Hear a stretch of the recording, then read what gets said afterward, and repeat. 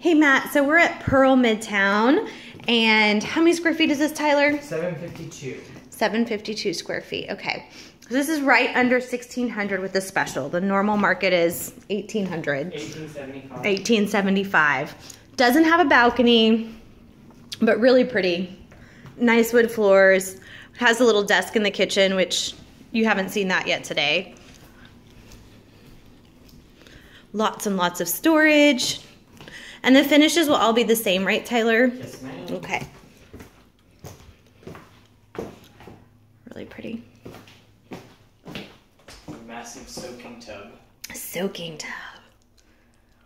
Beautiful. And this floor plan has the washer and dryer in the bathroom, So nice. Makes sense. the shelving above, and then in the bedroom it has two closets. Oh, wow. Nice. So you have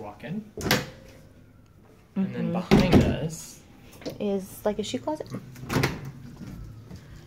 or coat closet. Not that you need your coats, but I'm sure you have a lot from up north.